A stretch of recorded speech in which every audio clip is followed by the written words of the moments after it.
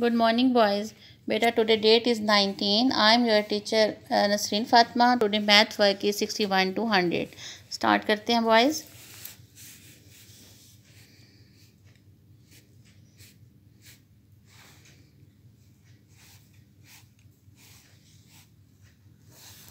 बेटा डेली की तरह पहले अपना नोटबुक का पैटर्न तैयार करेंगे ठीक है स्टार्ट करते हैं लिखना sixty one six one sixty one